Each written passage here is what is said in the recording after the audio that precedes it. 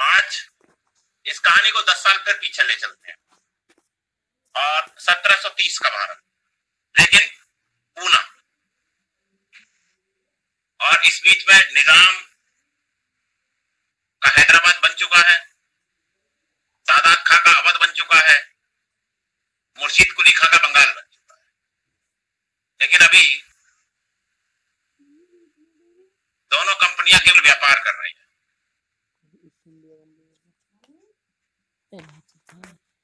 और दोनों कंपनियों के बीच में मतभेद पैदा हो रहे हैं। इंडियन पॉलिटिक्स में वो रुचि लेना शुरू कर दिया है उन्होंने। जिसका परिणाम ये होगा एक कंपनी और दूसरी कंपनी के बीच में युद्ध शुरू होंगे। कोई किसी का पक्ष लेगा, कोई किसी का पक्ष लेगा। और अल्टीमेटली अठारहवीं शताब्दी के उत्तरार्ध में ये कंपनी बिल्कुल वाइप आउट हो जाएगी, सफाया हो जाएगा।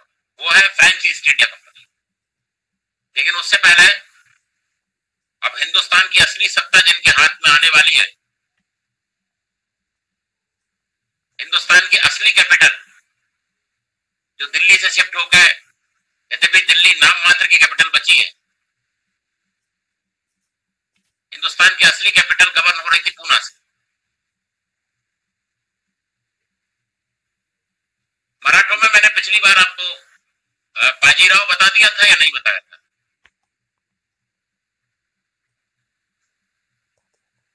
एनीवन नहीं सर क्या बताया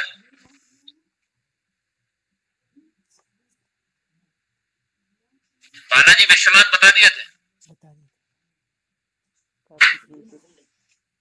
भैया पढ़ नहीं रहे लग रहा है। सर आपने बोला था मराठाओं के बारे में बताने के लिए हेलो? हाँ बताएँ। सर आपने बालाजी बाजीराव तक करा दिया था। 1740 तक।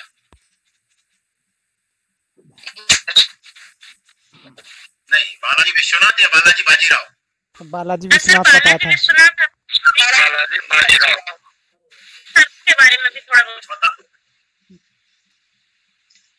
बालाजी विश्वनाथ या बालाजी बाजीराव?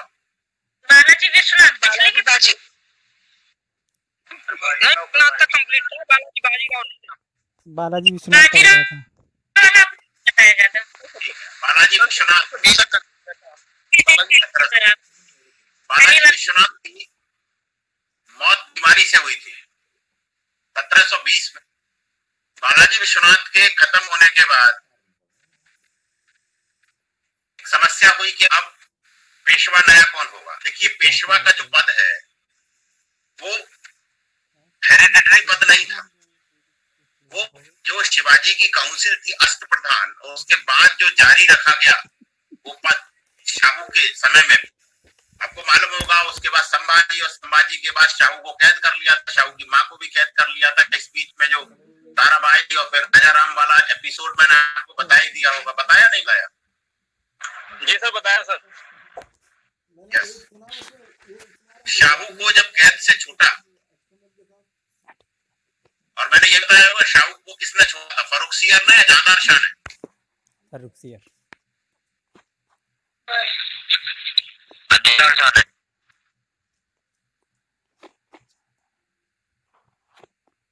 देखो ध्यान से। फारूक सियर ना याद रखोगे तो मामला गड़बड़ करेगा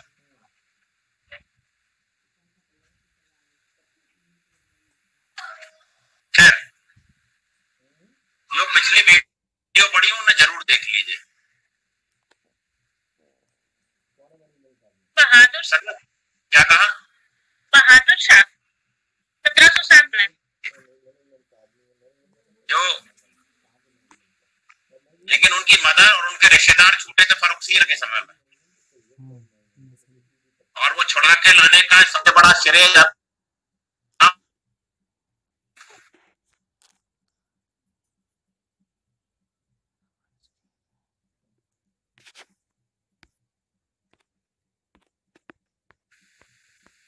जो बालाजी विश्वनाथ का सबसे बड़ा लड़का था, जिसका नाम था Bajirao.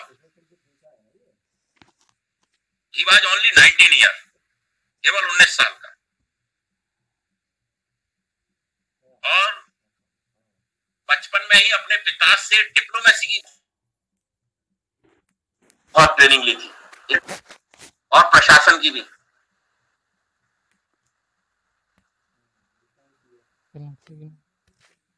छत्रपति शाहू ने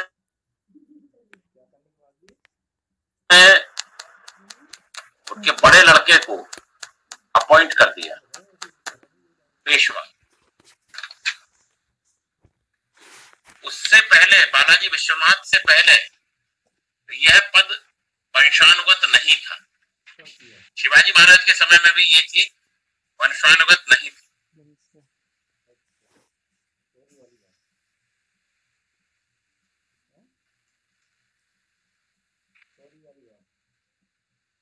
जो बाजीराव का आइडिया था, वो ये था कि मराठों को अब उत्तर की तरफ़ प्रस्थान करना चाहिए। क्योंकि मुगल साम्राज्य एक ढहता हुआ तना है, सड़ता हुआ तना है। जो इसकी अंग्रेज़ी है, वो है now is the time to drive the stranger from the countries of the Hindus and acquire immortal renown let us strike at the trunk of the withering tree and our branches will fall off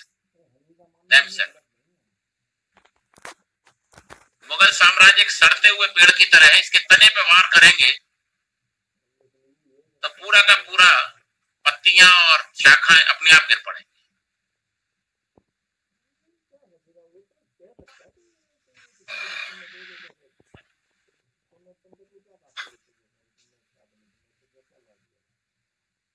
और दूसरा था कि मराठा साम्राज्य की जो सीमा है, वो कटक से लेकर के अटक तक पहुँचे। ये नारा ऐसी का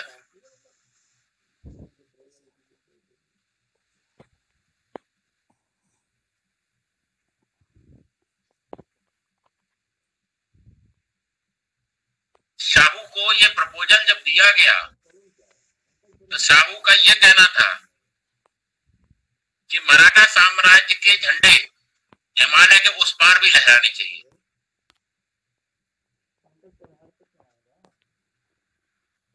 और तुम एक योग्य पिता की योग्य संतान हो।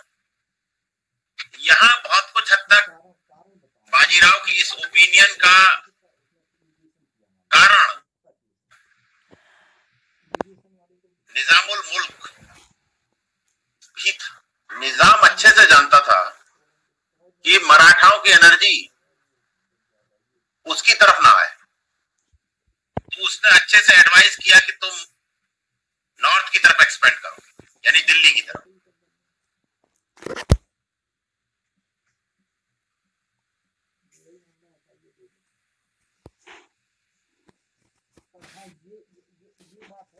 निज़ाम से युद्ध भी हो चुका था और निज़ाम हार का स्वाद चख भी चुका था।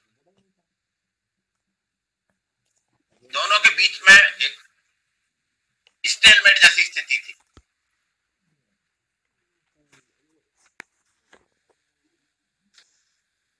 दूसरा जो बाजीराव के पीरियड का, बाजीराव फ़र्स्ट के पीरियड का एपिसोड है वो है बुंदेलखंड का। बेसिकली बुंदेलखंड में बुंदेलाज का शासन था। और बुंदेला एक राजपूत क्लैन है, राजस्थान से निकली हुई।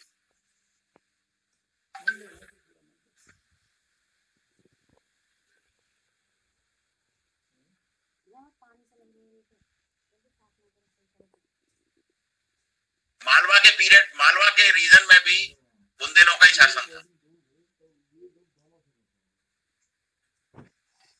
इसी बीच में फरुखाबाद का मैंने लास्ट ईयर ज़िक्र किया था। फरुखाबाद का जो नवाब था, नवाब क्या था? बेसिकली रंगीला का पीरियड आते आते जिसमें भी ताकत थी, वो स्वतंत्र होने की कगार पर पहुँच गया था। उसके एरिया में इलाहाबाद भी आता था।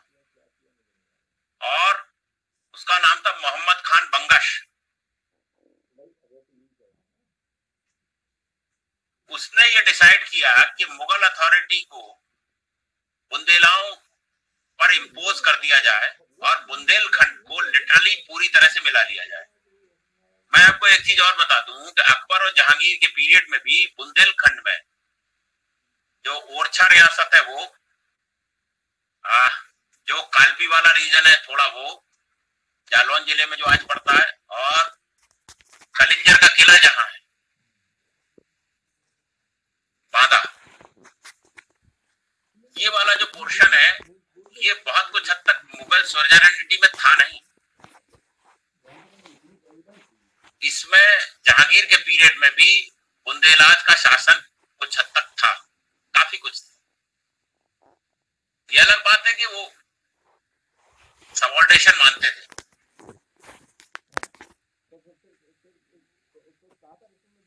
और जो आक्रमण हुआ, वो इलाहाबाद से चित्रकूट के रास्ते हुआ। इलाहाबाद और चित्रकूट आज आप मैप में देखेंगे अगल बगल में। महोबा में एक जगह पड़ती है जैतपुर। आज वो एक कस्बा है। जैतपुर पर कब्जा कर लिया गया मोहम्मद खान बंगश का। और वहाँ का जो बुंदेला रूरल था, उसका नाम था छत्रसाल। छत्रसाल को बिल्कुल वहाँ से पैर उखाड़ दिए गए और बंगस की सेना ने पूरा महल घेर लिया। छत्रसाल ने खबर भेजी पूना।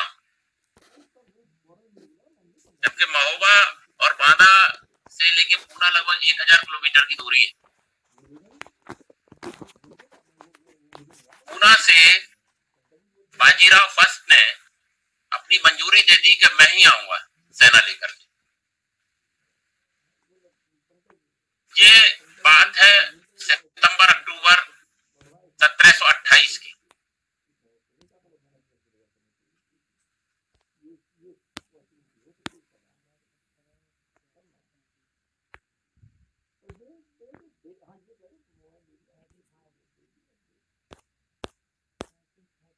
ये इतिहास के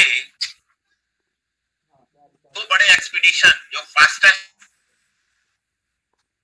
अकबर का गुजरात एक्सपीडिशन लगभग चौदह दिन में, और ये लगभग छह दिन में।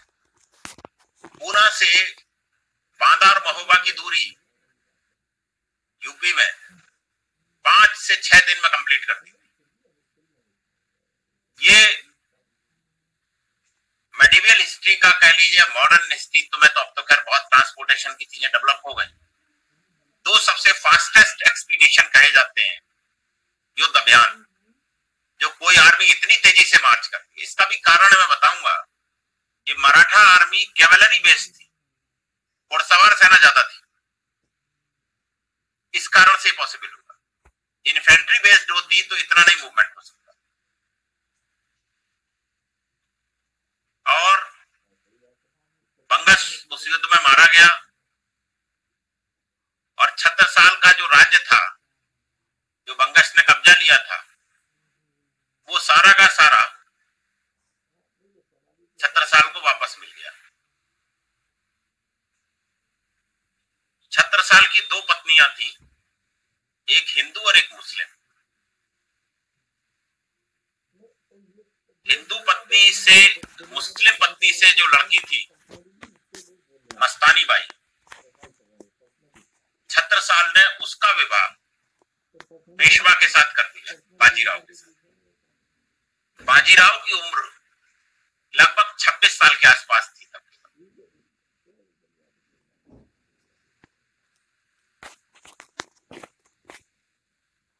ये सब कुछ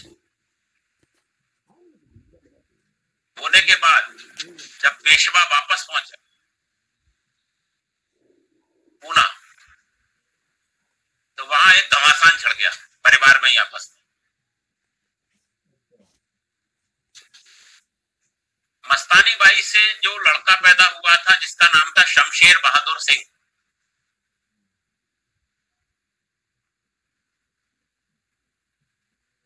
वो पानीपत के तीसरे युद्ध में अहमद शाह अब्दाली से लड़ता हुआ खत्म हो गया, मारा गया। क्योंकि वो सत्रह सौ इकसठ में हुआ है।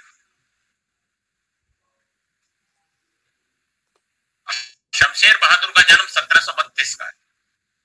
लगभग लगभग बत्तीस से इकसठ, उनतीस साल उम्र रही होगी।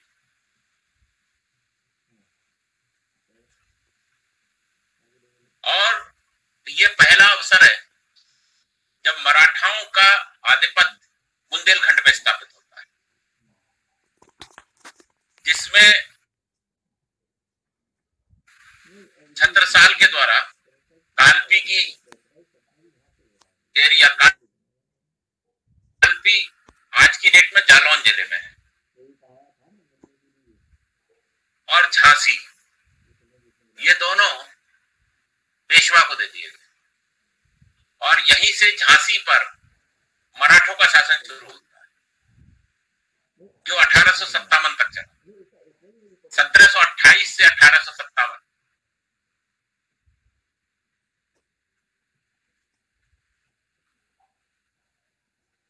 लगभग लगभग मोटा मोटा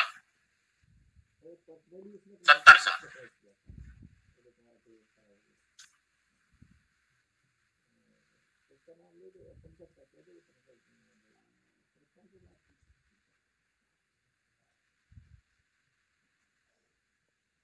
दूसरा हमला मराठों का दिल्ली पर हुआ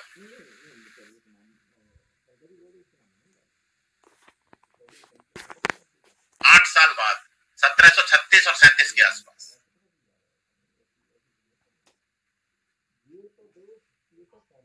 सत्रह सौ सैतीस के जाड़ों में मराठा आर्मी में और मुगल आर्मी में मुगल आर्मी में तब दो ही सिपह सालार थे आपको मैंने बताया था सैयद ब्रदर की तो डेथ हो चुकी थी उनकी जगह एक निजामुल मुल्क बचे थे और एक सादात खान बचे थे उनकी कहानी मैं आपको बता ही चुका हूँ। नादिर शाह के समय। सादात खान के नेतृत्व में मुगल सेना ने जो मराठों की आर्मी थी, उससे युद्ध हुआ। मराठों की आर्मी आ गई थी मथुरा तक। ये युद्ध आगरा और मथुरा के बीच में कहीं हुआ था।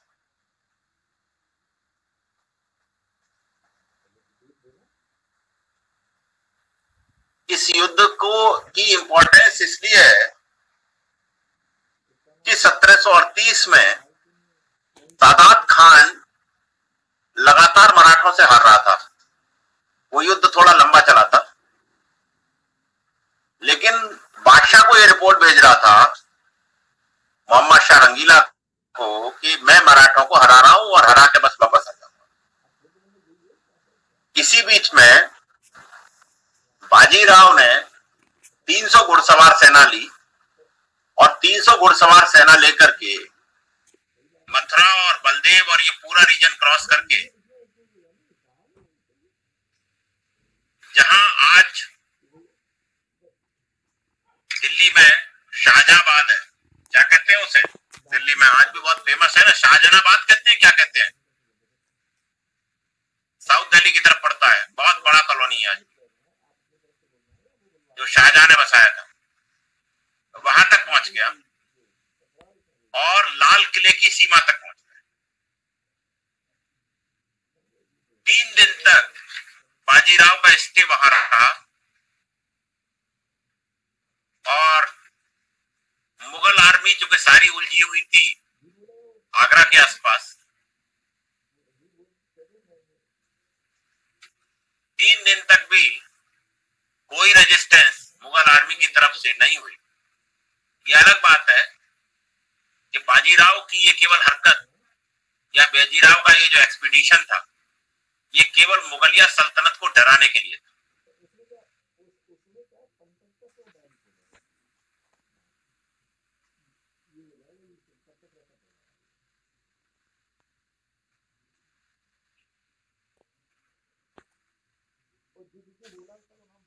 और इसी चीज़ को वॉच कर रहा था नादिर शाह, दूर से बैठा ही और अगले साल वो आ गया। मैंने आपको बताया, ये सत्रह सौ अड़तीस का अप्रैल सत्रह सौ अड़तीस। और सत्रह सौ सेवनटीन थर्टी नाइन का तो मैं आपको पिछली बार में बता ही चुका हूँ।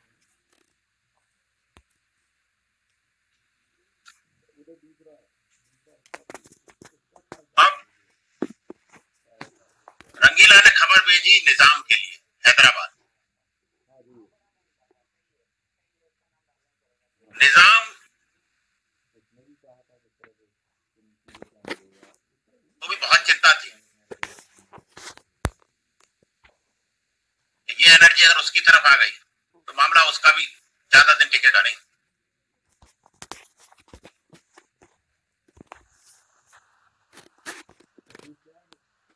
दूसरे इंजिन एरिया से मराठे दक्कन में चौथ की वसूली कर रहे थे और सरदेश मुखी की वसूली कर रहे थे। वहाँ निज़ाम की तो कोई बात सुनने वाला था नहीं। जब मराठे किसी एरिया से चौथ ले लेंगे तो उस एरिया का रक्षा का दायित्व तो उनके ऊपर आ जाएगा। निज़ाम तो उधर नगर उठा नहीं सकते।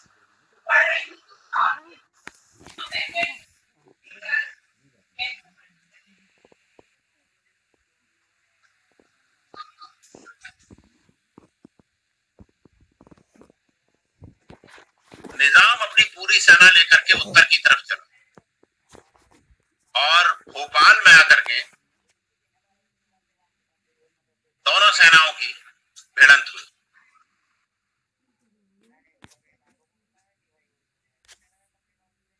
और तब तक दिसंबर आ गया, अप्रैल से। मराठा आर्मी कुछ स्टेशन कर गई, आगरा में कुछ कर गई। मथुरा में। और बाकी जो है, उस युद्ध के लिए वापस लौटी, चौमासा बीत जाने के बाद। क्योंकि तब तक यह सूचना आ चुकी थी कि निज़ाम एक बड़ी आर्मी लेकर के उत्तर की तरफ़ आ रहा है। और दोनों सेनाएँ भोपाल में भिड़ गई।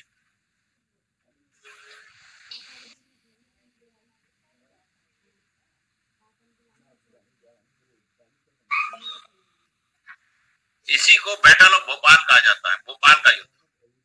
ये दिसंबर सत्रह में हुआ। और इसमें निज़ाम की बहुत बुरी तरह से हार हुई।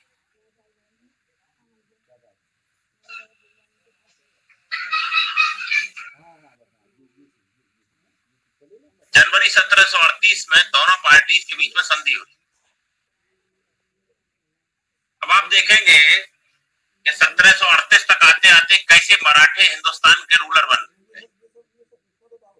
इस संधि की जो शर्तें थी, आप देखिए, मैं उन शर्तों को एक एक करके गिनता हूँ। पहली शर्त ये कि पूरा मालवा का रीजन मतलब आज का इंदौर, मराठों को दे दिया जाएगा। चंबल और नर्मदा के बीच का पूरा एरिया मराठों को दे दिया जाएगा। चंबल नदी अभी आप आगरा से चलेंगे ग्वालियर की तरफ़, सौ किलोमीटर है केवल। तो धौलपुर क्रॉस करने के बाद ही मुरैना एक मध्य प्रदेश का जिला है, और उसके बाद चंबल नदी आ जाती और नर्मदा है बिल्कुल मध्य प्रदेश के लास्ट कोने पर जाकर। बीच में लगभग 600 किलोमीटर का एरिया होगा। एक सेकंड होल्ड करिए।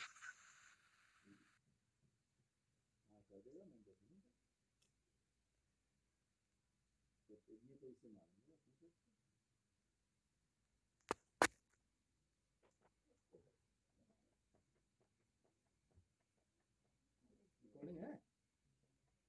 Yeah,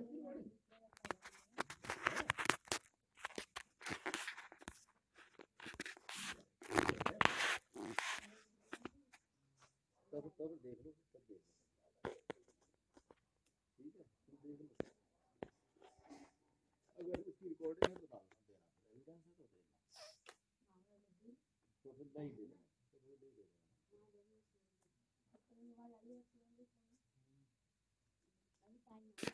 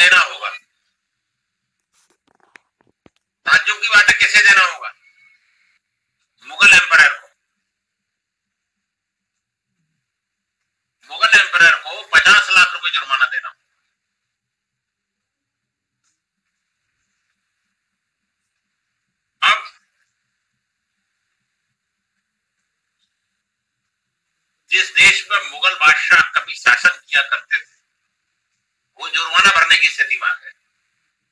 जो दूसरों से हर जाना और जुर्माना लिया करते थे।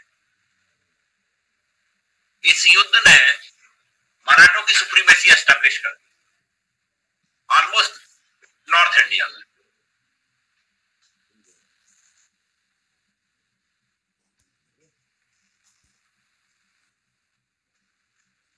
बाजीराव मराठों का एम्पायर बिल्डर कहा जाता है यानी कि साम्राज्य निर्माता राष्ट्र को बड़ा करना यानी महा करना यानी महाराष्ट्र महाराष्ट्र जो शब्द है, उसकी उत्पत्ति यहीं से हुई।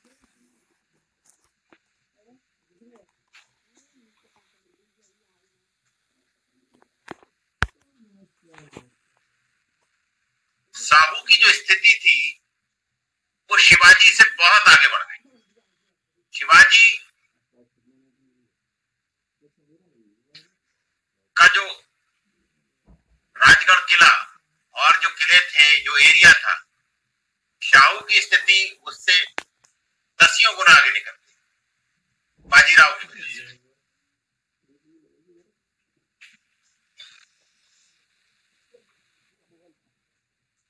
बाजीराव की बहुत कम एज में डेथ हो गई ऐसा कहा जाता है, दिमागी बुखार के कारण मौत हुई। सत्रह सौ चालीस, मात्र इकतालीस साल की उम्र।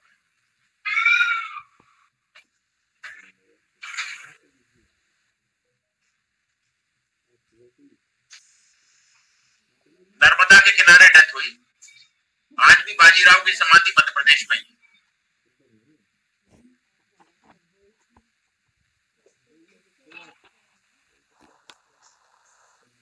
बाजीराव के बाद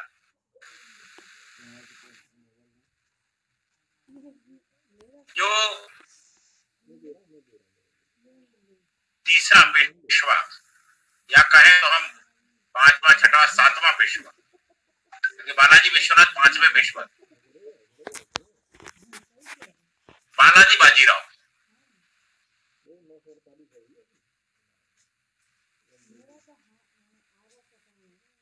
ये बाजीराव का सबसे बड़ा पुत्र, जो बाजीराव की हिंदू पत्नी से पैदा था, काशीबाई।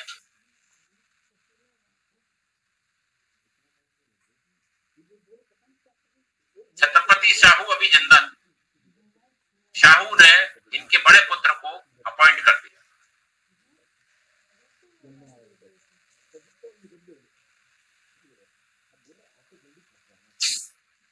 और इन्हीं दोनों के पीरियड में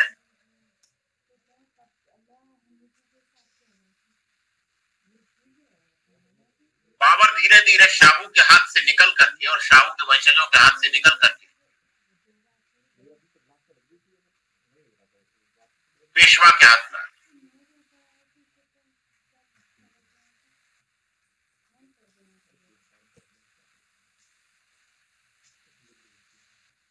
सत्रह पचास में,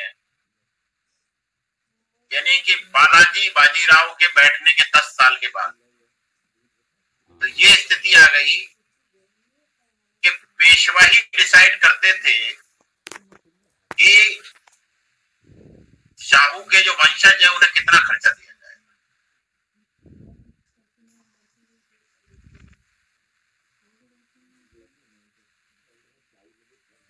रियल और इफ़ेक्टिव हेड पेशवा हो गया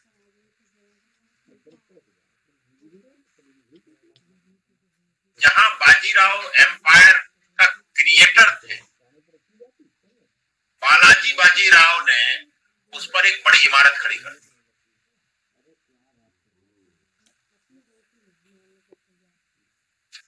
और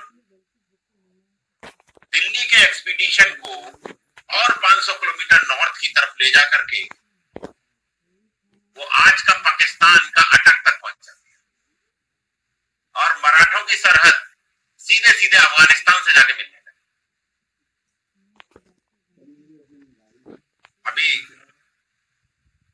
रंगीला है, उसके बाद आलमगीर है, मुगल बादशाह है, लेकिन बस नाम के शाह आलम है, नाम के।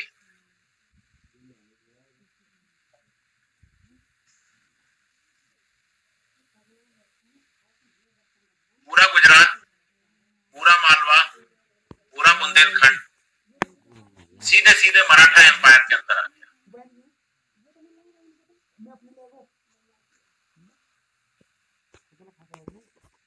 निज़ाम की स्थिति ऐसी हो गई जैसे दांतों के बीच में जीभ रहती है। निज़ाम का एक्सपेंशन नहीं हुआ जरा निज़ाम को मैं आपको बताऊँगा, इसी बीच में निज़ाम की भी डेथ हो गई। निज़ाम के भी वारिसों में झगड़ा हुआ। बाद में निज़ाम ने इसीलिए ईस्ट इंडिया कंपनी का साथ पकड़।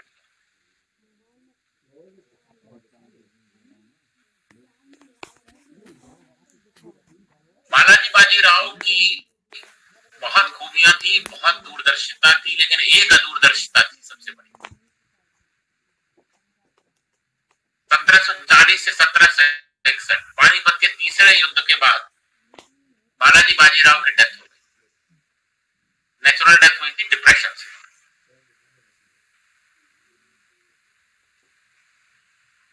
तो इस बीच में अंग्रेज़ पलासी का युद्ध जीत करके अपनी जड़ें जमा चुके सत्रह सौ सत्तावन। लेकिन पेशवा का ध्यान अंग्रेज़ों की तरफ़ नहीं गया। उन्हें लगा ये नहीं ज़्यादा कर पाएँगे तो व्यापार करने वाले व्यापारी व्यापारी कहाँ युद्ध लड़ता है? और लड़ा भी है तो प्लासी का युद्ध, देखिए, प्लासी का युद्ध आप पढ़ते इसलिए है कि उसकी हिस्टोरिकल इंपॉर्टेंस ज़्यादा है। अदरवाइज़ उसको क्वांटम तो बहुत छोटा था। तीन चार घंटे का युद्ध बड़ा मुश्किल। चार पाँच हज़ार की सेना। बड़ा युद्ध तो था नहीं। मराठों के लिए वैसे युद्ध जीतना चुटकियों का खेल था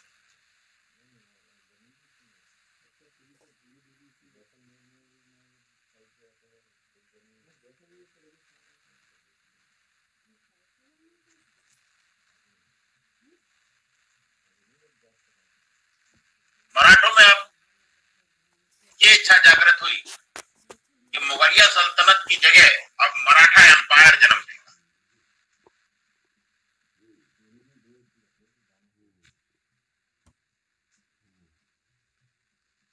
बाजीराव फ़र्स्ट के समय से ही मालवा कब्जे में आ गया था और मैंने आपको बताया बैटल ऑफ़ भोपाल लेकिन इफ़ेक्टिव कंट्रोल बाजी बालाजी बाजीराव के समय में आया।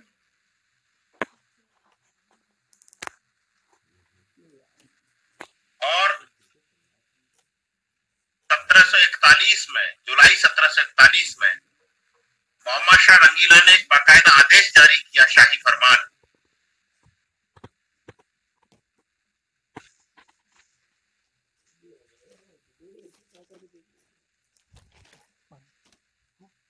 जिसमें पेशवा को मालवा का सूबेदार, शहजादा अहमद के साथ उनका डिप्टी बनाया गया।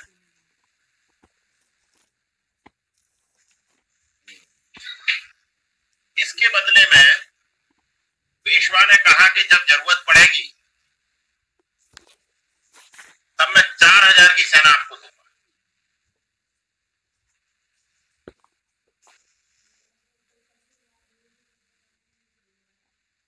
लेकिन इसी के साथ पूरे मालवा रीजन का जो एडमिनिस्ट्रेटिव सिस्टम था, वो पेशवाओं के हाथ में चला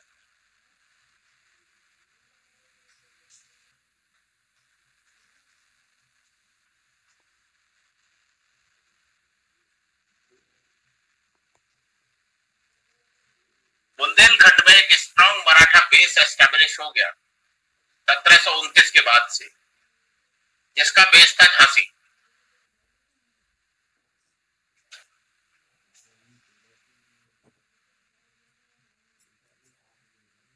यद्यपि यहाँ बुंदेला रूलर पहले से राज कर रहे थे दतिया में भी दतिया झांसी से कोई तीस पैंतीस किलोमीटर ग्वालियर की तरफ़। चंदेरी में भी, चंदेरी ललितपुर से आगे मध्य प्रदेश में। जैतपुर, महोबा में। कलिंजर, बांदा में और पन्ना पन्ना मध्य प्रदेश का जिला है सागर और पन्ना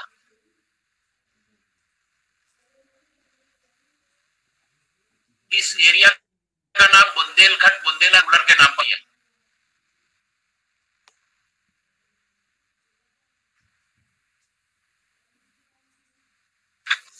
लेकिन मराठों ने सबको हरा दिया और फाइनली 1742 में पूरी तरह से अपना रूल एस्टेब्लिश झांसी पर कर दिया। और झांसी में जो मराठों की क्लैन थी, उसका नाम था नवलकर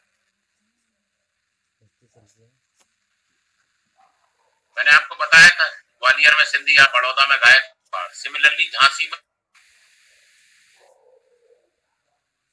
और 1742 में आते आते, वो तो 1729 में गया था। 1742 में आते आते मराठा कॉलोनी बन गई। बुंदेलखंड। मराठों ने नॉर्थ में ही नहीं, साउथ की तरफ़ भी एक्सपेंशन किया। तंजौर तंजौर आज तमिलनाडु में तंजौर का एक नवाब था दोस्त अली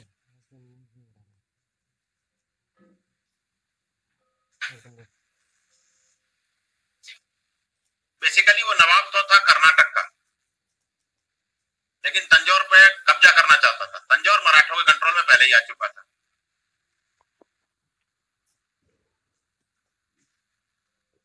मराठों का एक बहुत बड़ा जनरल था रघुजी भोसले। ड्रामा है ये? उसके नेतृत्व में आर्मी गई। इस युद्ध में दोस्त अली मारा गया। और उसके लड़के के साथ पीस सेटलमेंट हो गया। शांति वार्ता हो गई।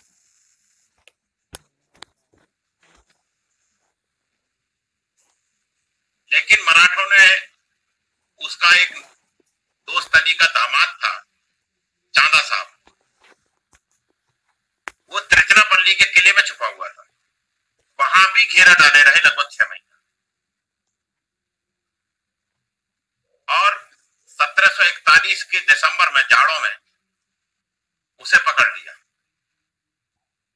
और सतारा जो महाराष्ट्र में, वहाँ ले गए और वहाँ उसे कैद में डाल मराठों का अगला प्लान था पांडिचेरी को कब्जाने को, जो अब तक फ्रांसीसी जहाँ हरकतें कर रहे थे। फ्रांसीसी कॉलोनी ऑलमोस्ट बन चुकी थी। मैं आपको जब पढ़ाऊँगा, फ्रांसीसियों का, तब बताऊँगा। लेकिन वो मेटेरियलाइज नहीं हो पाया। अब मराठों का ध्यान क्या पूरब की तरफ़। महाराष्ट्र से अगर आप मैप पे देखेंगे पूरब की तरफ़ बंगाल बिहार और उड़ीसा महाराष्ट्र से जब पूना से बंगाल डिमांड भेजी गई चौथ की। उस टाइम बंगाल का नवाब अली वर्दी खां हो चुका था सिराजुद्दौला का नाना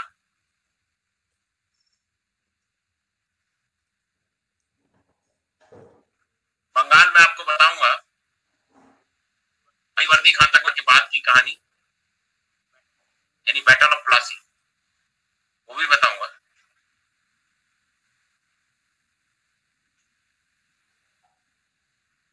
इन्होंने चौथ की डिमांड करने के लिए जो आदमी भेजा, उसका नाम था भास्कर पंत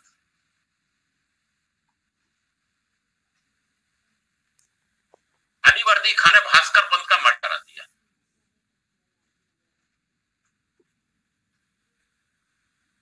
इस बात से बालाजी विश्वनाथ ने जो उनका सबसे कमांडर था फेरोसियस कमांडर रघुजी भोसले को कहा कि तुम जाओ और अलीवर्दी खान को सबक सिखाओ? तो रघुजी भोसले ने फायर एंड स्क्रैच की पॉलिसी अपनाई लूटो और जला दो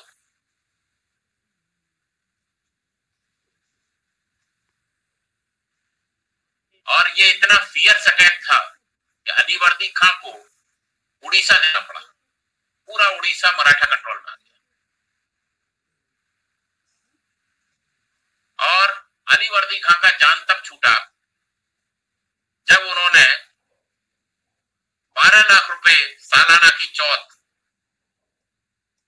बंगाल और बिहार के सूबे के बदौलत देना स्वीकार कर लिया मराठा। सत्रह सौ इक्यावन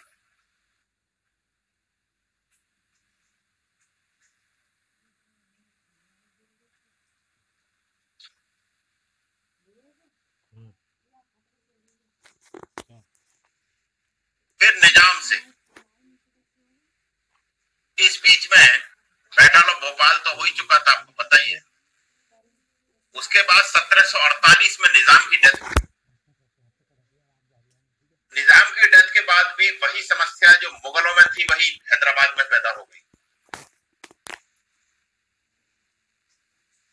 और पेशवा बालाजी, बाजीराव को ये सटीक अपॉर्चुनिटी लगी जब उत्तराधिकारी लड़ रहे हैं तो किसी एक का फेवर कर दिया जाए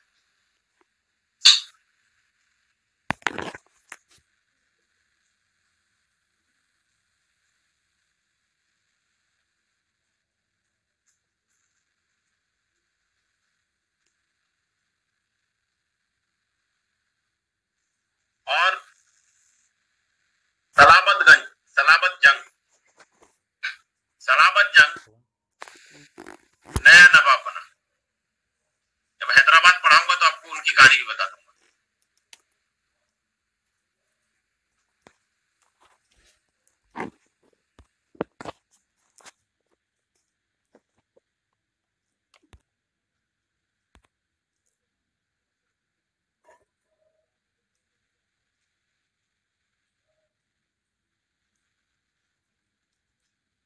सलावत जंग ने मराठों को खूब मोर्चा दिया। क्योंकि सलावत जंग ने तब फ्रांसीसियों से दोस्ती कर रखी थी।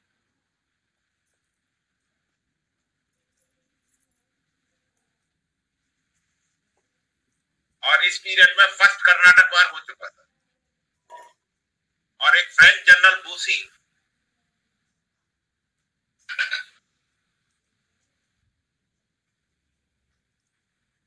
वहाँ मौजूद था।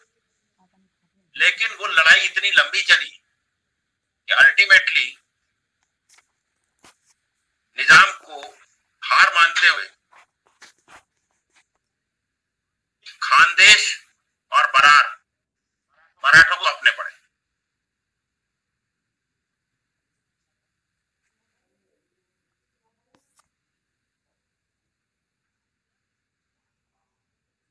इसी बीच में फ्रेंच और ईस्ट इंडिया कंपनी के बीच में युद्ध शुरू हो गया।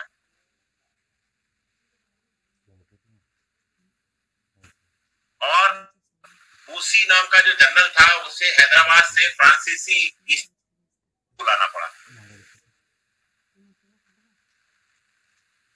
बूसी के हटते ही पेशवा ने ये परफेक्ट अपॉर्चुनिटी देखी, निज़ाम पे हमला की। और दिसंबर सत्रह सौ सत्तावन में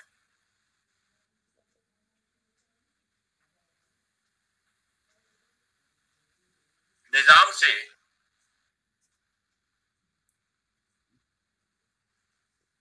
गोदावरी के नॉर्थ वाला रीजन ले लिया गया।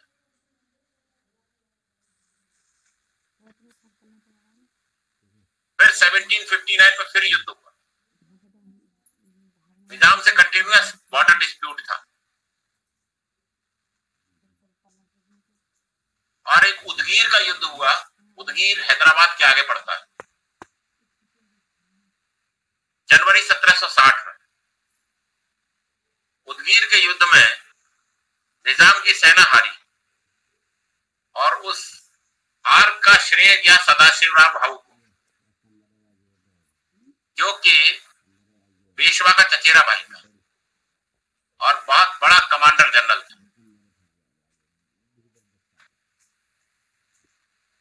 और बीजापुर, बुरहानपुर, दौलताबाद, अहमदनगर। एक जमाने में कहीं कुतुब शाही थी तो कहीं आदिल शाही थी। शिवाजी के पिता आपको पता वो तो आदिल शाही डायनेस्टी में ही थे। ये सब मराठा कंट्रोल में आ गया।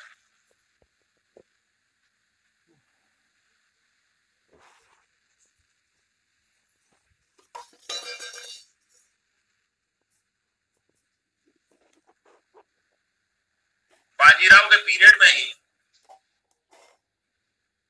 क्योंकि मराठों की स्थिति बहुत बहुत मज़बूत हुई ईस्ट वेस्ट नॉर्थ साउथ सब जगह उनकी जीत हो रही थी it was the peak of Maratha अब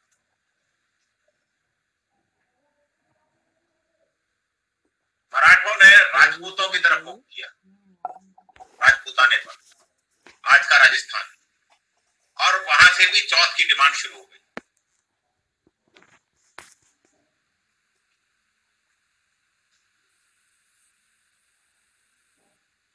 राजपूतों को चौथ देना पड़ा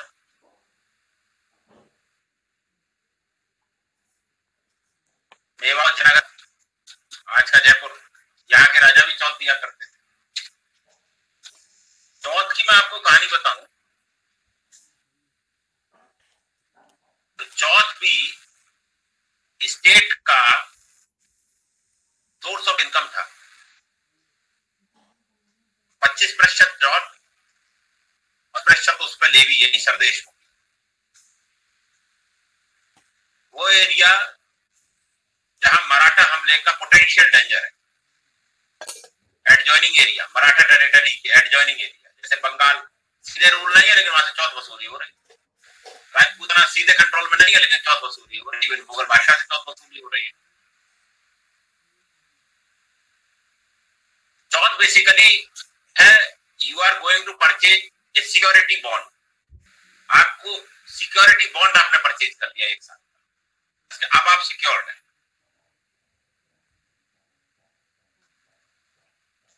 चौथ का जो डिवीज़न है वो 25 प्रतिशत जो है, वो राजा का है। जैसे बापती कहते थे।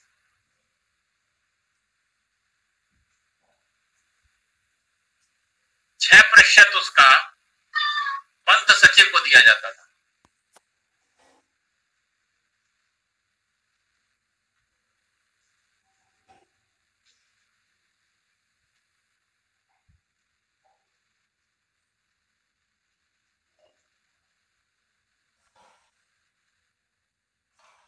तीन परसेंट राजा के डिस्क्रिप्शन पर होता था। जो जैसे चाहे उसे देते तो पच्चीस और छह, इकतीस और तीन, चौतीस परसेंट। बचा हुआ छियासठ परसेंट उसे मोक्ष कहते थे। वो मराठा सरदारों में बांट दिया जाता था। जो अपनी सेना को उससे मेंटेन करते थे। सरदेश मुक्त से डिवीज़न होता था।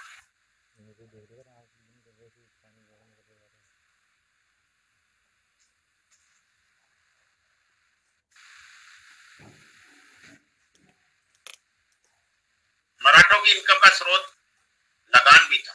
जो उनके, जहाँ वो एक्चुअल रूल करते थे, वहाँ से लगान वसूला जाता था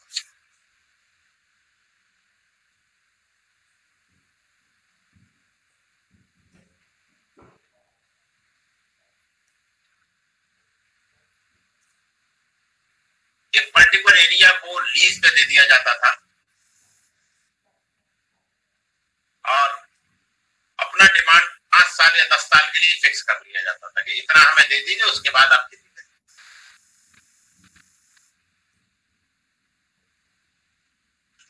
मराठों ने बहुत प्रयास ये भी किया कि जो एरिया जंगल में उसमें खेती की जाए।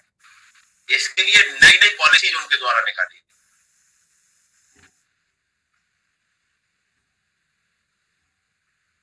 पॉलिसी ये थी कि जितने एरिया को जंगल काट के आप खेत बना लेंगे। उसका आधा एरिया आपका इनाम के रूप उससे कोई टैक्स नहीं वसूला जाएगा। और बचे हुए आधे एरिया पे 20 साल के लिए रेंट फ्री किराया नहीं लिया जाएगा उससे तो लोगों में वो आई कि भाई क्यों ना जंगल जो आसपास है, उस जमाने में खेत इतने थे नहीं, जंगल ज़्यादा थे। जंगल को काट काट के प्लेन बनाएँगे और एग्रीकल्चर लैंड डेवलप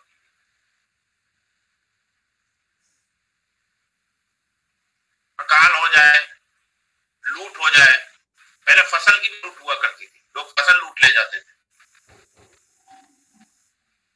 तो वो माफ़ कर दिया जाता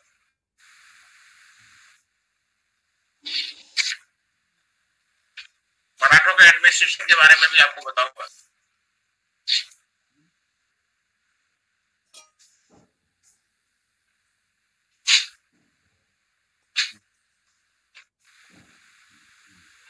दिल्ली के वीक होने पर मराठे ही नहीं, रोहेला सरदार और बंगश पठान भी सपना देख रहे थे कि हमारा भी एम्पायर बन जाएगा। बंगश पठानों को सबसे बड़ी उम्मीद थी अफ़गानिस्तान से। मूल रूप से बंगश पठान अफ़गानिस्तान के रहने वाले थे।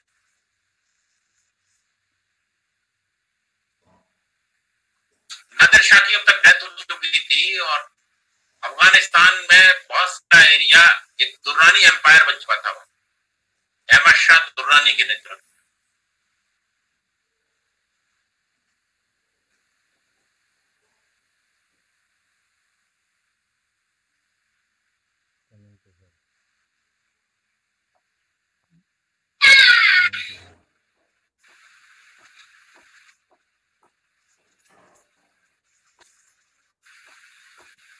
निज़ाम को बड़ा खतरा लगता था और सत्रह सौ इक्यावन में दूसरा सफदरजंग के द्वारा मराठों और बादशाह के बीच में एक एग्रीमेंट करा दिया गया।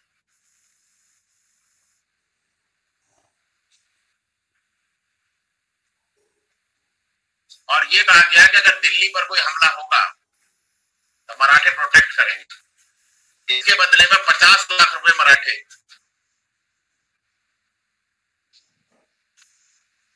लेंगे।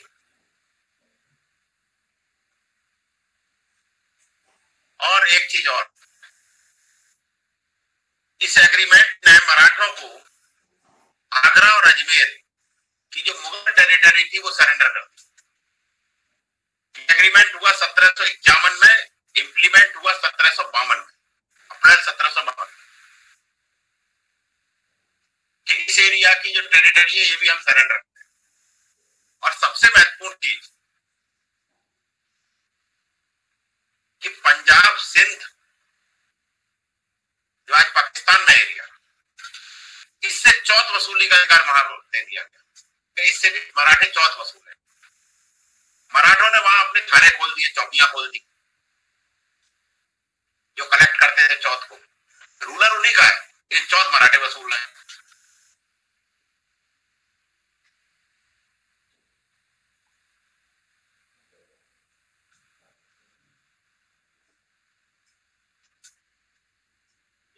यद्यपि एम्पर ने इसे रेटिफाई नहीं किया लेकिन एक्चुअल में तो मराठे झंडा गाड़ चुके थे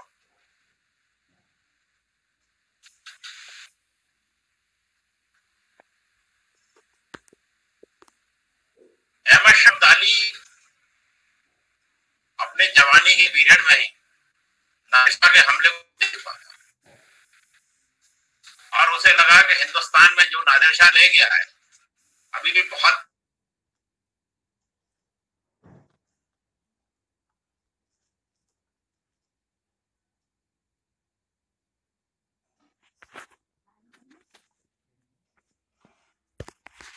हॉटस्पॉट बंद कर दोगे कर बंद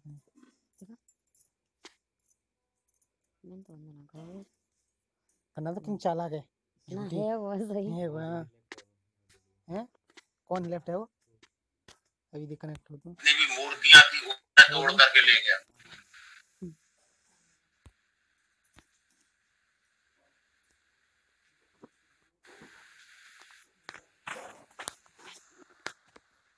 अब दाई लगभग आठ महीने रुकाया।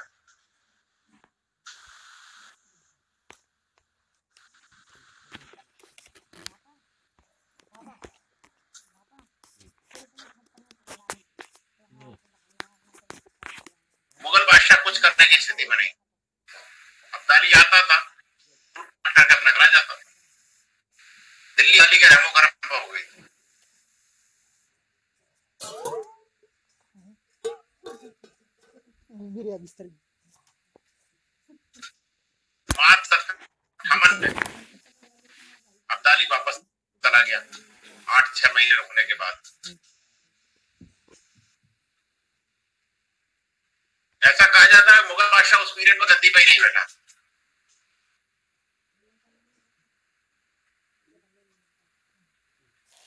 पेशवा बालाजी बाजीराव ने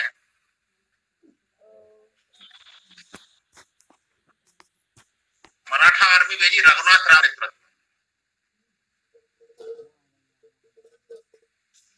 और दूसरा जो सरदार थे मल्हार राव होलकर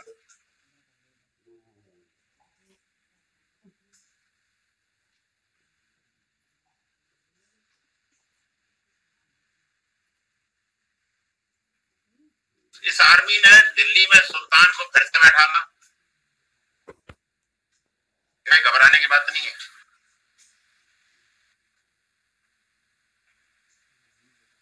मुगल बादशाह कौन था? कोई बताएगा?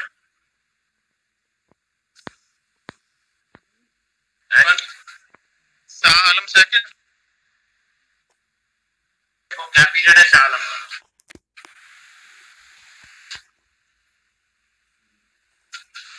आलमगीर सेकंड या शाह आलम सेकंड कौन सा है? देखो। सर, आलमगीर सेकंड आएगा इसमें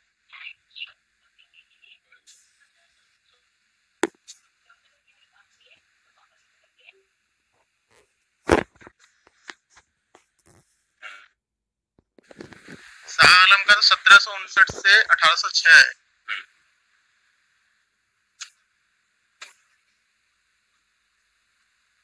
और मराठा आर्मी लाहौर तक पहुँच गई।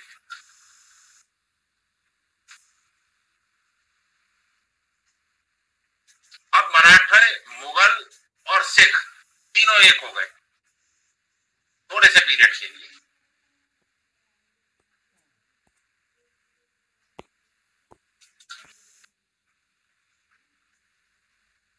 और झंडे गाड़ दिए पेशावर तक।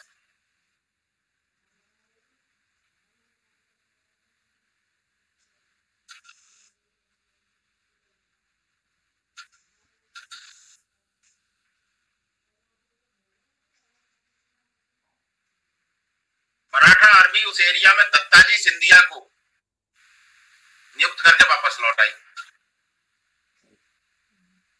अगले साल 1759 में अब्दाली की सेना फिर आ गई।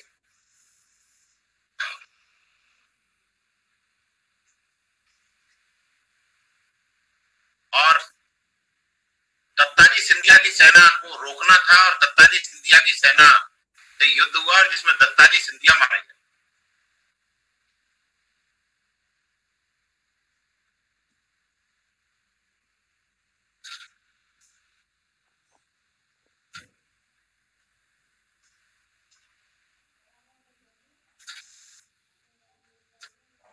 अब 1760 में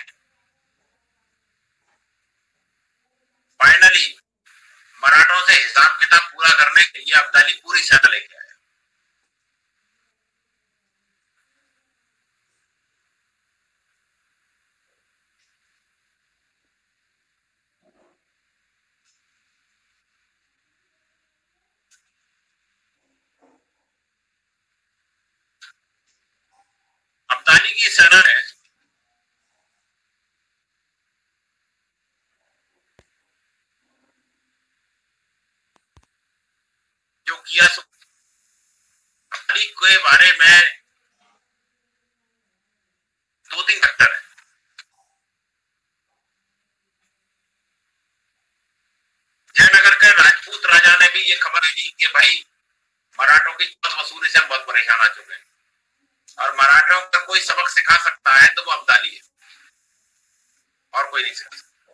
आप हिंदुस्तान में नहीं।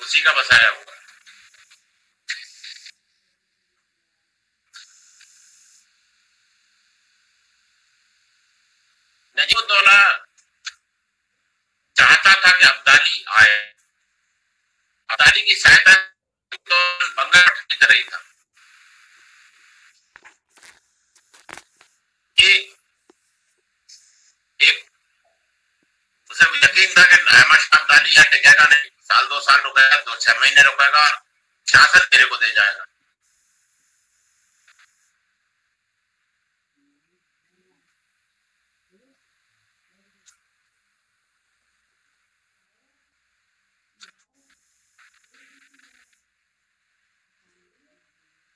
सत्रह सौ सत्तावन में जब अब्दाली आया था कई बार आया सत्रह सौ सत्तावन में जब आया तो नजीबुद्दौला को वो मुगलों का सेनापति बना गया अब आप देखिए नजीबुद्दौला को अब्दाली बना गया यानी मुगल अपना सेनापति भी नहीं बना पा रहे।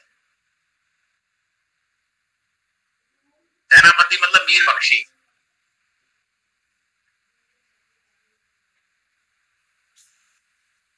और उससे ये कहा कि तुम बादशाह की रखवाली करोगे मराठों से।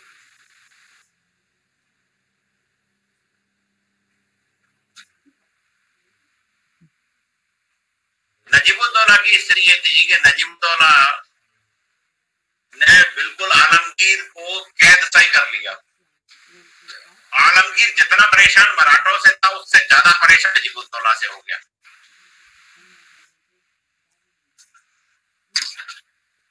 नजीबुद्दौला ने सेनापति होने के बावजूद अफगानी का पीछे हाथ होने के कारण बादशाह से बदतमीजी करनी शुरू कर दी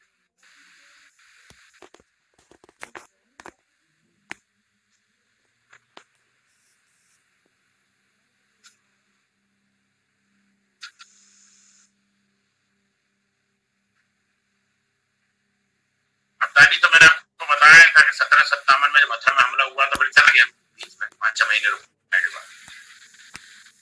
अल्टीमेटली आलमगीर को मराठों की हेल्प लेनी पड़ी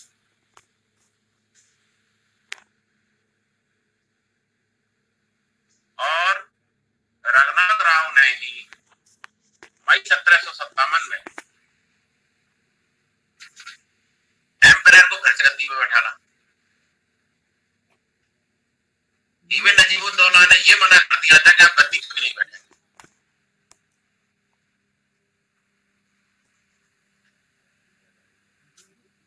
और रघुनाथ राव ने नजीबुद्दौला से कहा कि तुम जाओ वहीं बिजनौर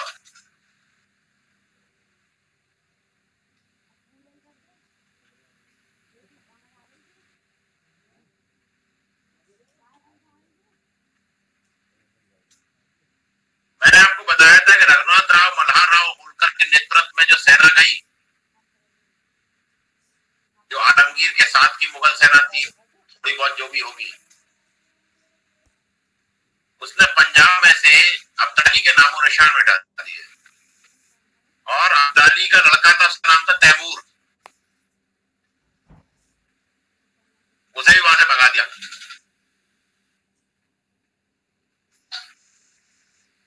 ये बात है मार्च अप्रैल और कमल की और ये अंतिम मौका था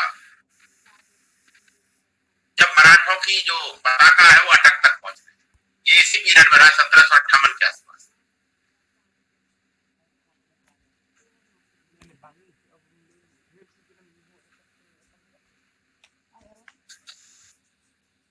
मराठों ने एक अदीना बैग अदीना बेग खान था उसने सरदार नियुक्त कर दिया पिछहत्तर लाख रुपए लेने के बाद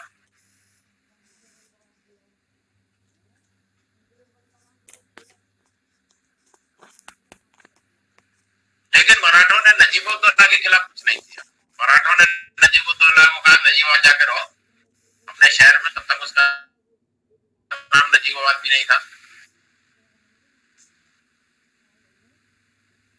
लेकिन अब मराठों की जो सीमा है और दुर्रानी एम्पायर की सीमा एक दूसरे को टच कर रही है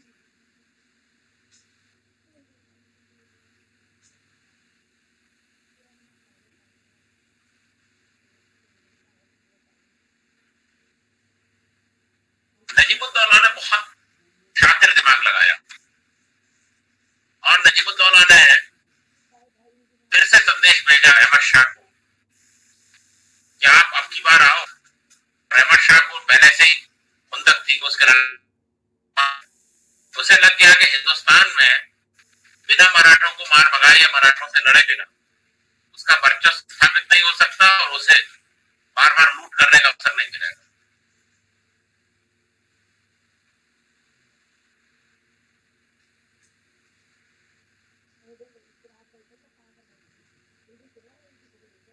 एक सेकंड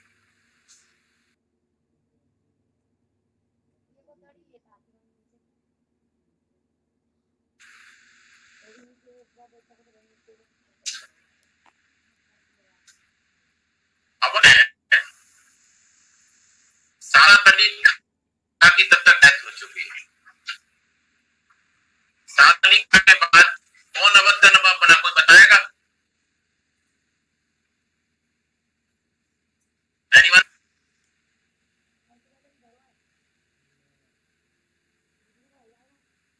नो आइडिया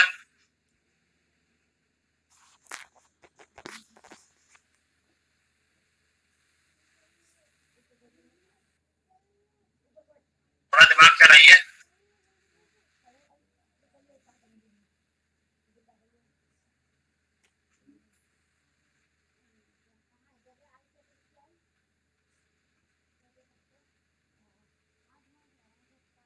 मैंने आपको पिछली बार बताया भी था कि आप मूल रूप से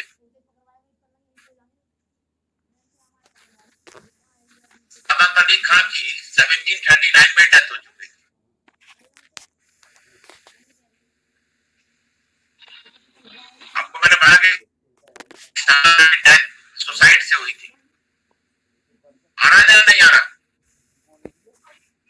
वो शहादत खां सर उससे कंफ्यूजन है उसके बाद सब हाँ सादात अली खां और खां शहादत सादात खान जो है सुसाइड से हुई थी पता है आपको बताया था ना मैंने जी सर बताया कैसे हुई थी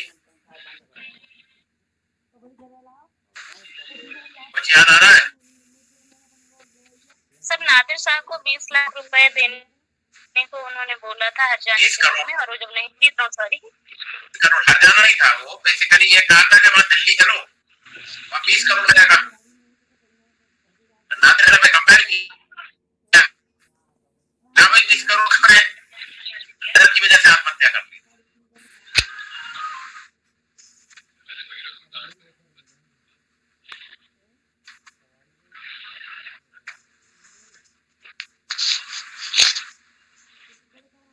थोड़ा सा जो है ये देखते रहिए नहीं भूल जाएँगे खैर सादात खान के जो दूसरा बना नाम था सफदरजंग सत्रह सौ चौवन तक थोड़ा लिख लीजिए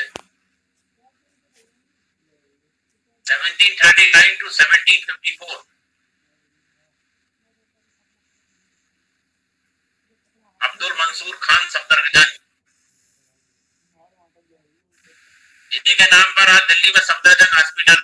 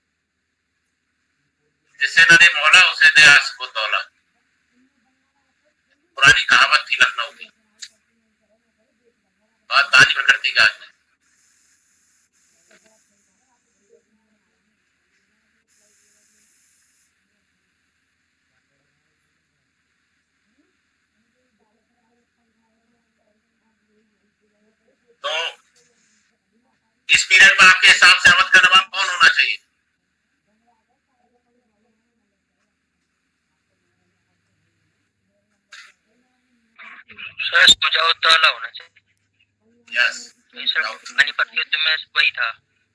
हम्म.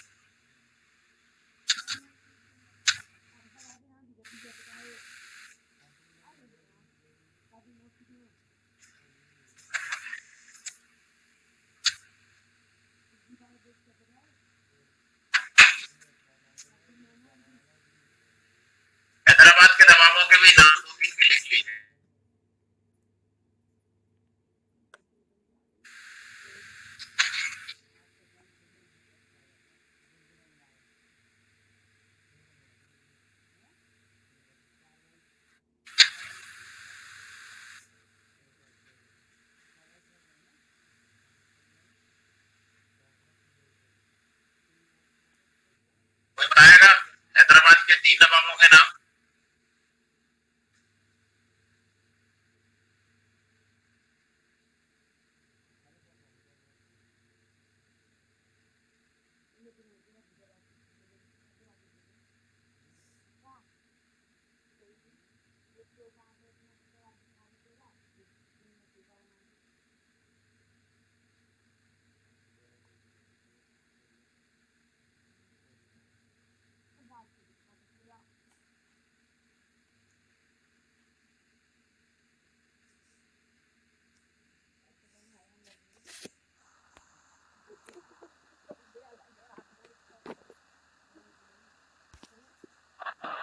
बोल बोल। मैंने बता ही दिया था, जिन्हें आसम जाही कहा गया आसम जाही डायनेस्टी जो शुरुआत थी, सत्रह सौ चौबीस से, रंगीला के पीरियड से। डेथ तो हुई जून सत्रह अड़तालीस में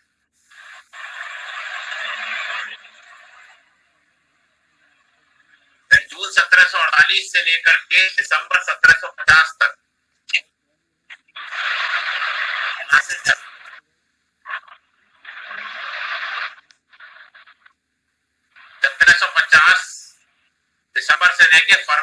सा ज्ञान कर मात्र तीन महीने। वो जब से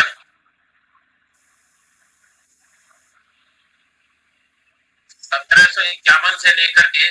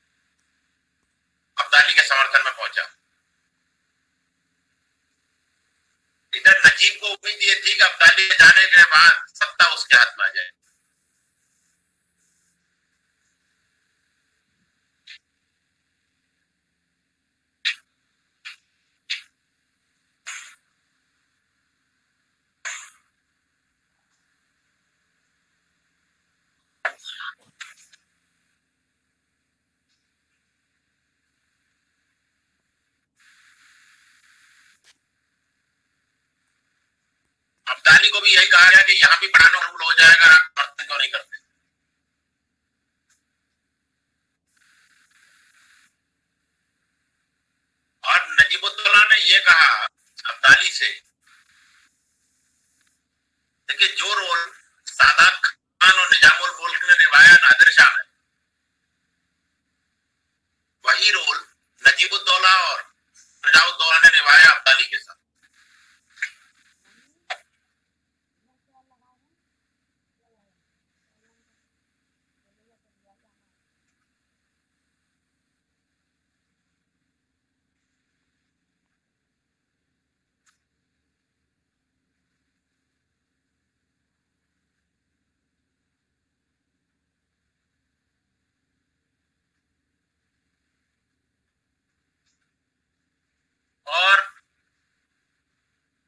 Yay, Nate.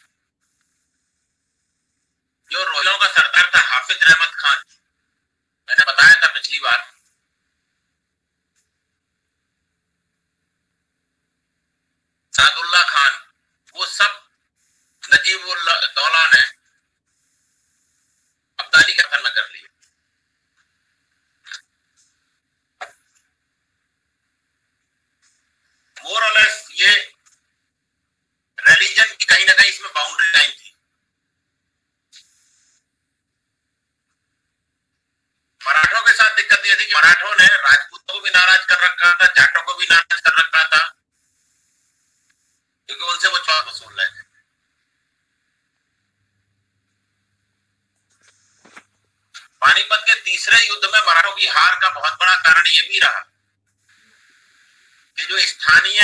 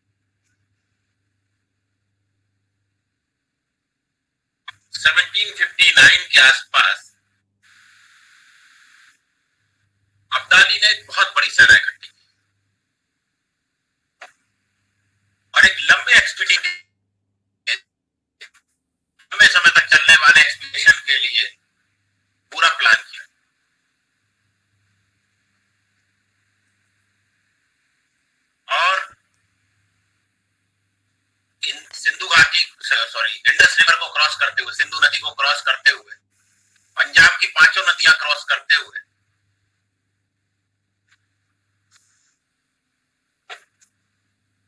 हरियाणा में एक जगह पड़ती है कुंजपुरा।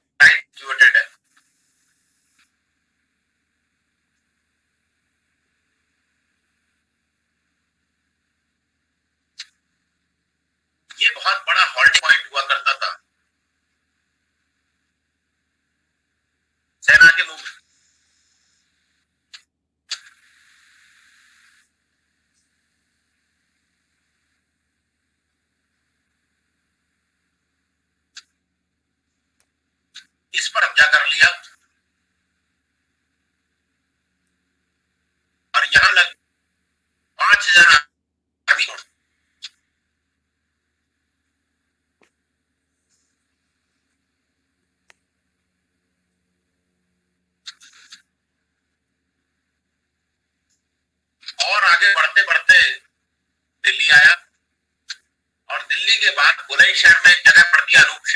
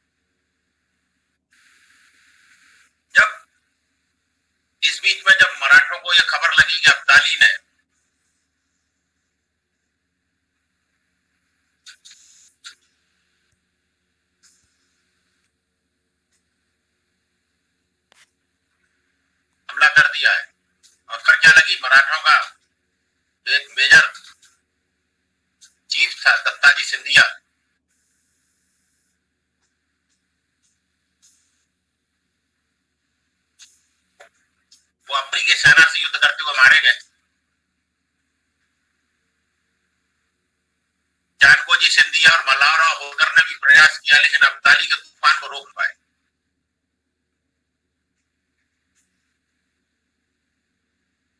पेशवा ने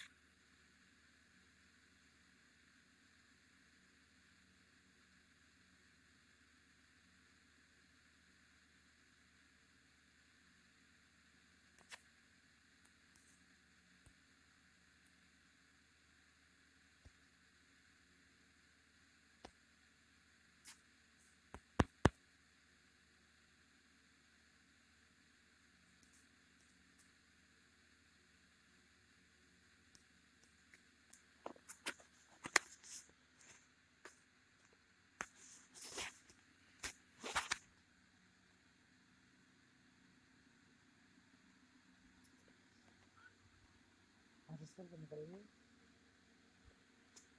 सब बंद कर दो आए आ रहे हैं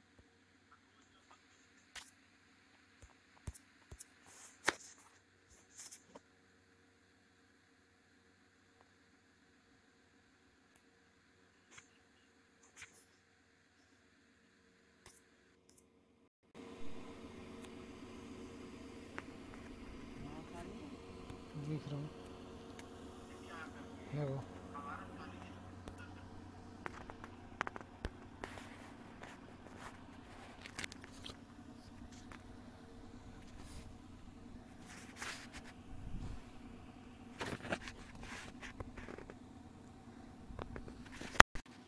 धीरे रही आर्मी जब आगे बढ़ी तो नर्मदा क्रॉस करने के आसपास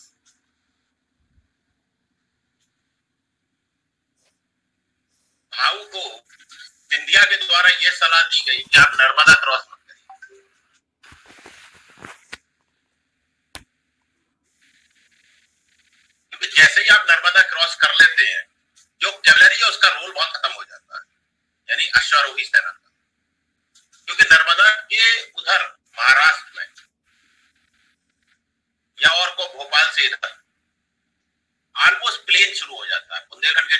bem a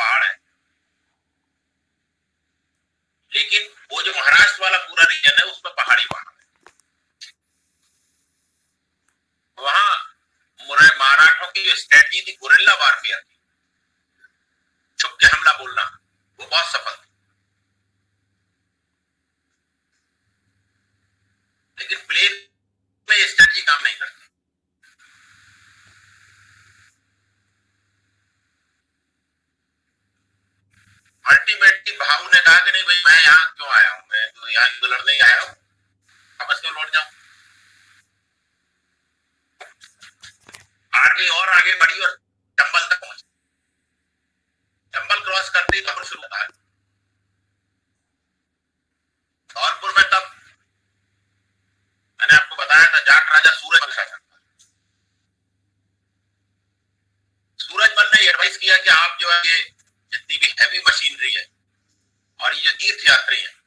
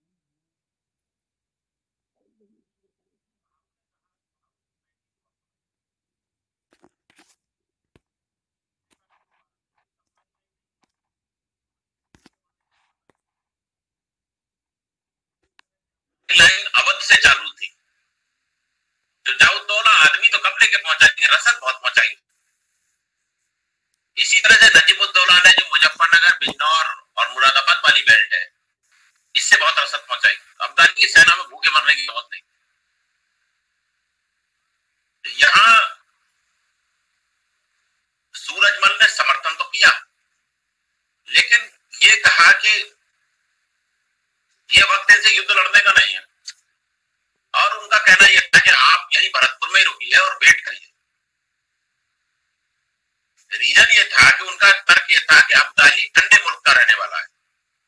जाड़ा लड़ने के लिए उसे बहुत सूटेबल है और आप जाड़े में उसका मुकाबला कर पाओ। गर्मी आने दीजिए। अप्रैल आई उस गर्मी में इसकी सेना को आसानी से शिकस्त दी जा सकती इतनी बड़ी आर्मी आप लाए। यह बात है कि भरतपुर और धौलपुर के शासन में ही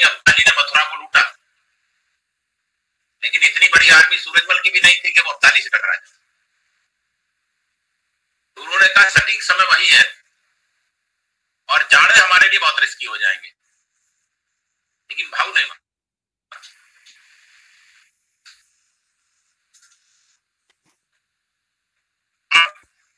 करते करते सितंबर और अक्टूबर आ गया। अब्दाली को ये डर सताने लगा। कहीं ऐसा तो नहीं कि मैं एंटर जाऊँ। या मैं क्रॉस ही ना कर पाऊँ मराठे मार डाले मुझे।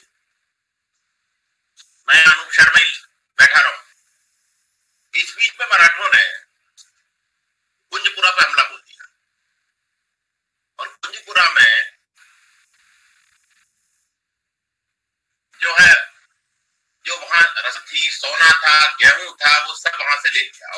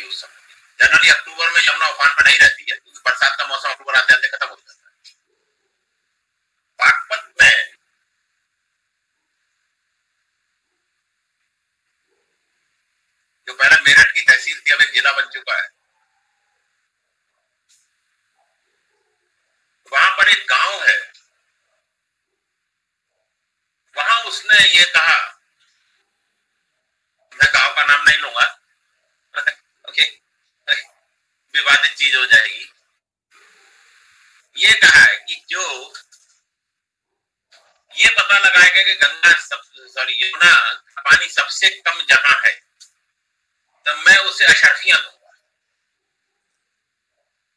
और नतीजा ये निकला कि लगभग दो तीन हज़ार लोग अशर्फियों के लालच में और ये पता ना लोकल आदमी को पता रहता है। नदी जब गाँव के पास से बहती है तो लोकल आदमी को पता रहता है कि पानी कहाँ है कहाँ ज़्यादा है।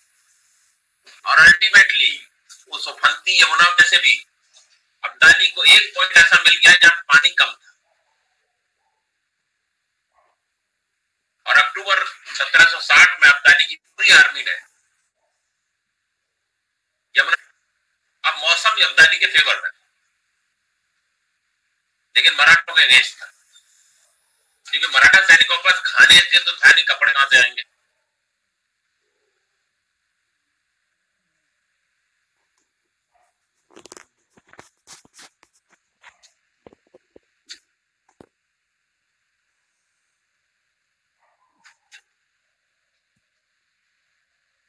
नवंबर 1760 तक आते आते दोनों आर्मी पानीपत मैदान में ऑलमोस्ट एक दूसरे के सामने। लेकिन जो जिसका मुँह साउथ वर्ड होना चाहिए, उसका मुँह नॉर्थ वर्ड यानी अब्दाली का मुँह साउथ वर्ड होना चाहिए, मराठों का नॉर्थ वर्ड होना चाहिए, इधर से जा रहे लेकिन उल्टा। और दोनों ने एक दूसरे की सप्लाई लाइन बिल्कुल काट दी, लेकिन अब्दाली की सप्लाई लाइन रेस्टोर रही खाने पीने की कोई कमी नहीं।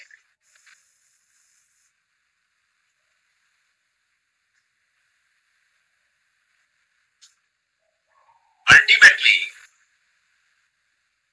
दिसंबर के बीच में नेगोशिएशन शुरू हुआ।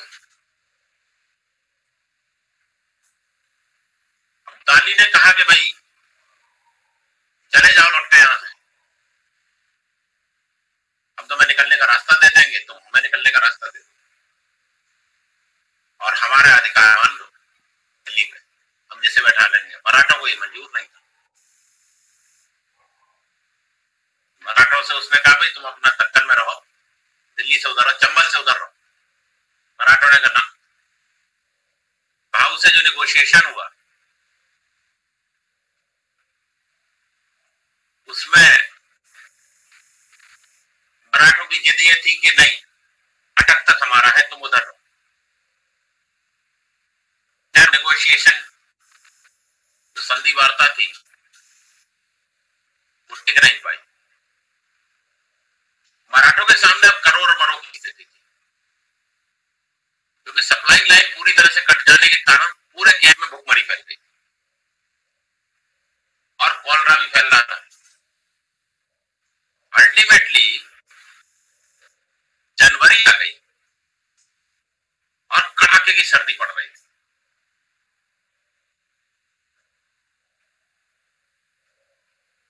चौदह जनवरी सत्रह सौ इकसठ बुधवार मकर संक्रांति थी उस दिन भाऊ के कैंप में डिसाइड किया गया कि अब करो या मरो की स्थिति में जो ये हमारे साथ तीर्थ यात्री आए इन्हें बीच में रखते हुए चारों तरफ़ से घेरा बनाते हुए हमला किया या तो जीता ही या हारे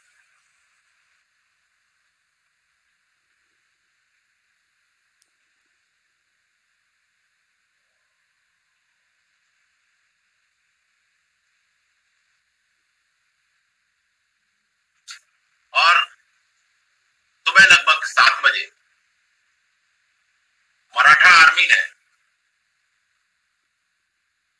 अफगान आर्मी पर हमला बोल दिया अभी तक अफगान आर्मी बिल्कुल शांत थी मतलब कि गलती करने का मौका मराठों को दिया अब्दाली के पास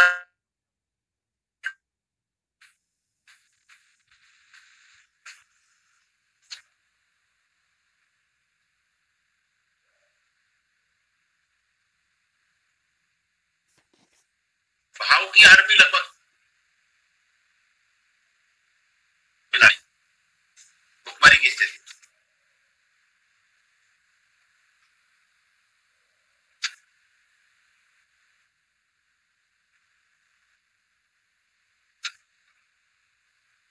युद्ध बिल्कुल धर्मोत्कर्ष पर पहुँच गया, बारह बजे तक आते आते और मराठों के अंदर ये स्थिति पैदा कर दी कि अब्दाली को लगा के तू नहीं बचा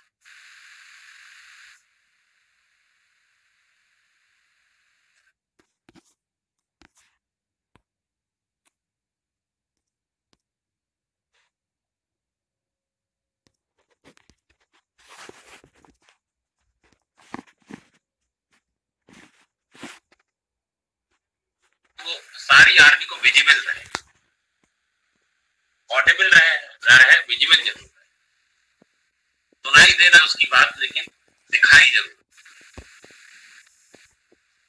एक छोटी सी घटना ने सदाशिवराव भाव को मजबूर कर दिया नीचे उतरने का मराठा आर्मी ने जब देखा कि हाथी के पर सदाशिवराव भाई नहीं बैठा तो मराठा आर्मी को ये लगा कि सदाशिवराव भाव की मौत हो गई। लगभग दो बजे के आसपास।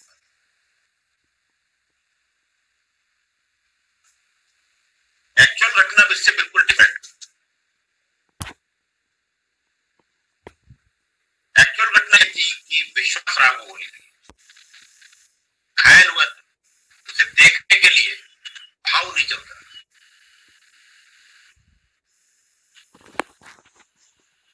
नतीजा, मराठा आर्मी में, इसी आध घंटे में भगदड़ मच और जो मराठा आर्मी ऑलमोस्ट जीतने के कगार पे पहुँच गई थी, उसे अब्दाली के सैनिकों ने दौड़ा। ऐसा कहा जाता है कि लगभग डेढ़ लाख की मराठा आर्मी सॉरी पचास हज़ार की तो आर्मी थे एक लाख वो तीर्थ यात्री उनमें से केवल दस से पाँच हज़ार बचे थे। बाकी कोई नहीं बचा। जो कत्लेआम नादिर शाह ने दिल्ली में करवाया था, वही अब्दाली की सेना ने मराठों का।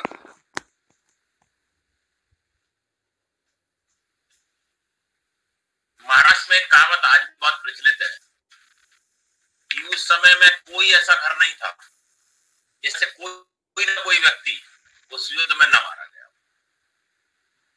ऐसा माना जाता है कि एक से डेढ़ लाख की कैजुअलिटी कुछ जंगलों में भाग गए। करनाल के आसपास, पानीपत के आसपास का जो जंगल थे, उनमें भाग गए। कुछ उत्तराखंड की तरफ़ भाग गए। भाव भी मारा गया।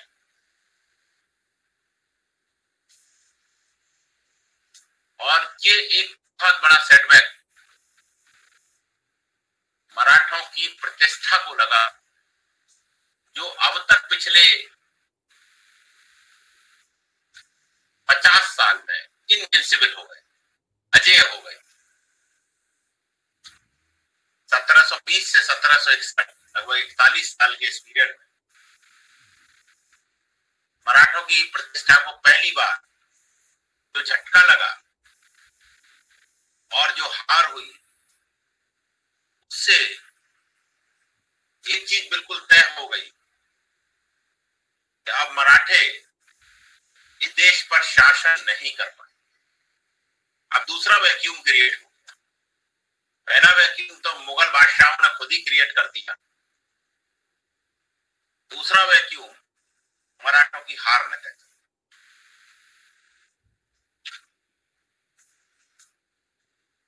जब यह खबर पूना पहुँची पेशवा की तबीयत उसके बाद बहुत बिगड़ने लगी। लोगों का कहना है कि डिप्रेशन में आ गए। और अल्टीमेटली उसी साल पेशवा की डेथ पेशवा मतलब बालाजी भाई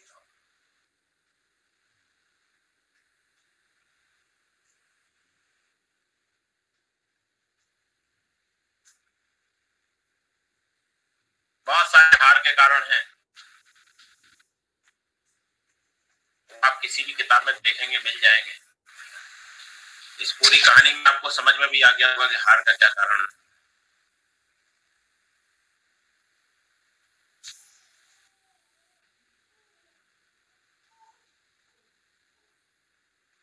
यहाँ तक कि हमने कहानी में मराठों का उत्थान और यहाँ के मराठों का एक बहुत बड़ा पतन ये अलग बात है कि आगामी 20-30 साल तक भी मराठे बहुत इफ़ेक्टिव रहे। अल्टीमेटली 1815 तक आते आते तीन एंग्लो मराठा वार हुए इसके बाद। और मराठों की सत्ता बिल्कुल समाप्त। मराठों का जो पीरियड रहा है, वो लगभग 1810 से लेकर 1710 से लेकर के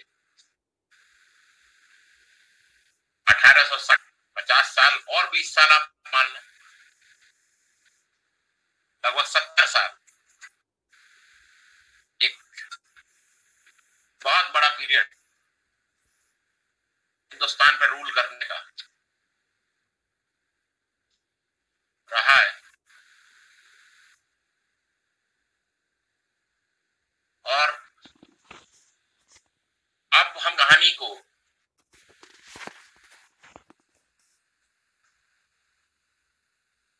ले जाएँगे बंगाल। और साथ में दो मेजर स्टेक होल्डर जो भविष्य में होने वाले हैं, आगामी 20-30 साल, इनका अभी तक ज़िक्र नहीं आया है। 1740 से लेकर 1760 के बीच में इनका ज़िक्र हुआ मराठों का। थोड़ा सा मराठा एडमिनिस्ट्रेशन का भी आपको बताएँगे कि वहाँ क्या सिस्टम था। और ये जो 20 साल 25 साल है, इनमें दोनों कंपनियों के आपस का युद्ध और बंगाल में प्लासी, अलीवर्दी खां के बाद का बंगाल। ये अगली मीटिंग में हम लोग करेंगे। राजपूतन और पंजाब के बारे में भी जानेंगे।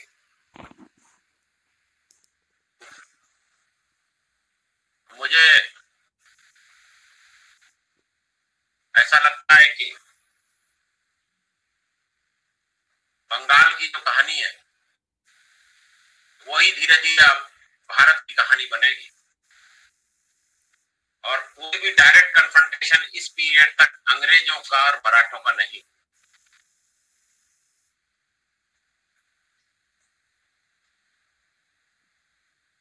तो आपकी समझ में आई चीज़ें?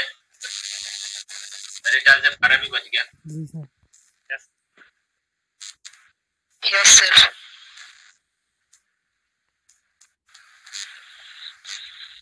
मेरे ख्याल से क्लास हो क्या